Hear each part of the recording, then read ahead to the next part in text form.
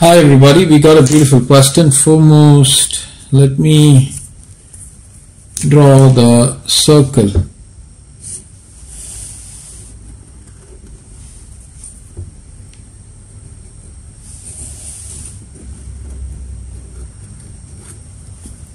Okay, so we have a circle. We are expected to find the area of the circle.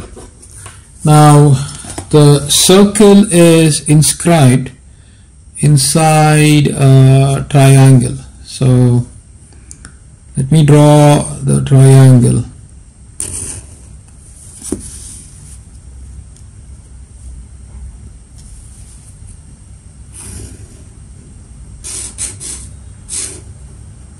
Okay.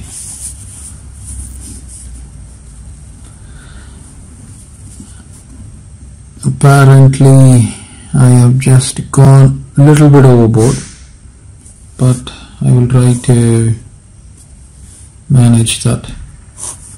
Okay so we got a circle inscribed let me name it I just want to name that as A and B and C. So this is the circle inside the triangle. Now we got the following measurement given. This is given to be as 122 centimeters. This is 120 centimeters and this is 22 centimeters. Right, this is the data that's been given. We are expected to find the area of the circle. Now, this question is a bit challenging question, but if you know the formula, it is simple. So what is the formula? The formula is we got a ratio connecting the triangle with the radius of the circle. So I'm going to use that formula. So what is that formula? The formula is area or I should say the ratio of the area of the triangle to the perimeter of the triangle is equal to the radius of the circle divided by 2. So this is the formula. So the ratio of the area of the triangle to the perimeter is equal to the radius of the circle divided by 2. So now clearly what I'm going to do is first let me take the area. Okay let me write that down. Let A be the area of triangle ABC and let P be the perimeter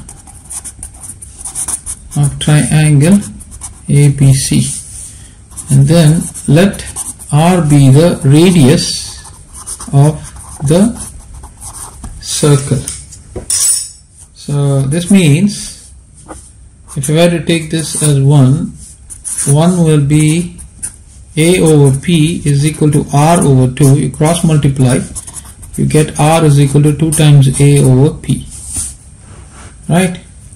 Now area of triangle ABC, I'm going to use the Heron's formula because of the presence of the three sides. This is this information is given, right? We got a scalene triangle with three sides. So the formula is S into S minus A times S minus B times S minus C where S is equal to A plus B plus C divided by 2 and the perimeter and the P is equal to A plus B plus C. Perimeter is known, we can easily calculate.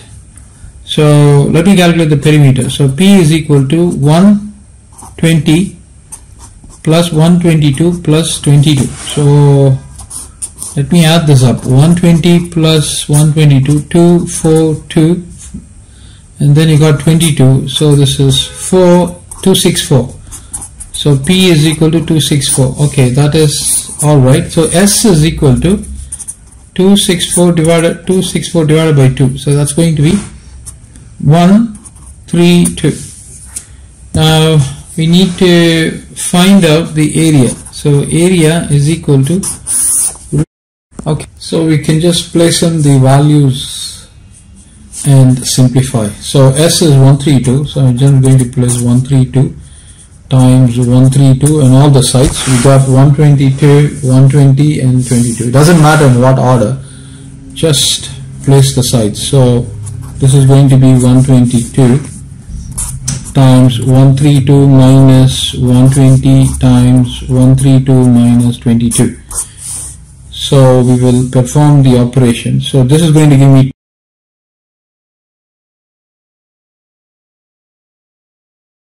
and 132 so this is equal to root of this is what I've got. Now this can be re further rewritten as 132 is nothing but 11 times 12 I got a 10 and a 12 110 is nothing but 11 times 10 so this is equal to root of 11 11 11 squared 12 12 12 squared and then 10 10 10 squared. So if you were to take the root you get 11 times 12 times 10 so 11 into 12 is 132 times 10 that's going to give you 1320 this is the area square units. But we are not interested in obtaining the area. Okay so after getting the area we need to obtain the radius. And we have this formula r is equal to 2 times a divided by p. Now a is 1320 and P is 264 2 divides here 1 2 divides here 3 times and 2 times. So 1320 divided by 132 that's going to be 10 so therefore R is equal to 10 units. So that is the end of this beautiful question. Thank you everybody